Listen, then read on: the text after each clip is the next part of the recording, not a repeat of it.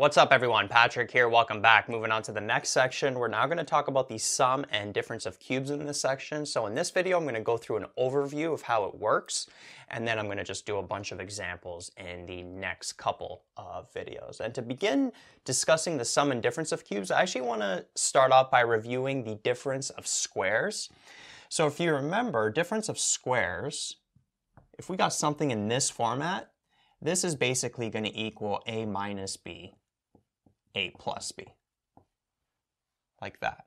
So for example, if we have like x squared minus 4, okay, if you think about it, this 4 we can change as 2 to the power of 2. And then notice that it's in this format here, where this x is this a, and then this 2 is this b here. And so all we have to do now is sub in that x and 2 for these a and b's. So we would have x minus 2 x plus 2. And so that's what we're going to be doing in this section as well. But instead of having a difference of squares, what we're going to have is a difference of cubes. And then we're also going to have a sum of cubes. So when you're dealing with squares, if you have a squared plus b squared, you can't factor that. So if you had like x squared plus 4 here, you can't factor that.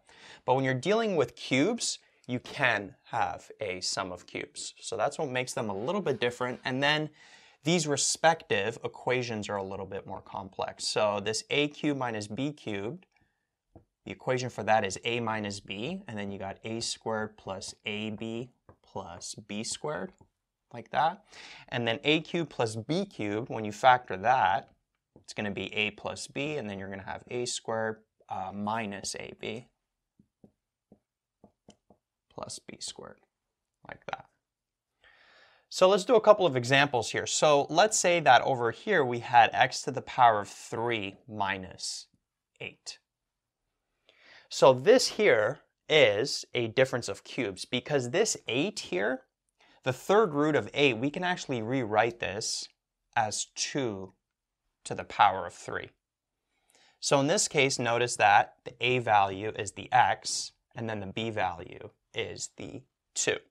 So whenever you get a question like this, I recommend that you put in this kind of format so you could clearly see what's the a value, what's the b value, and then all you have to do is just sub it into this respective formula. These formulas here, you're just going to have to memorize. So knowing that x is a, 2 is b, subbing them in, you would have x minus 2 a squared, so you'd have x squared plus 2x plus 2 squared, which is 4. And this bracket here is never going to be able to factor further, right? So x to the power of 3 minus 8, it factors into this over here, right? So that's an example of a difference of cubes. Let's do a sum of cubes. So let's say we had uh, let's say we add 8x to the power of 3 plus 27, for example. Well, notice that this here, we can actually rewrite, if we take the third root of this, that's the same as 2x to the power of 3 in brackets, because the 2 would go to the power of 3, which would give us 8, and then the x would go to the power of 3, which would give us x cubed. And then this 27 we can rewrite as 3 to the power of 3, like that. And so notice that in this case, let me kind of split these two up. The a value in this case is the 2x, and then the b value is the 3.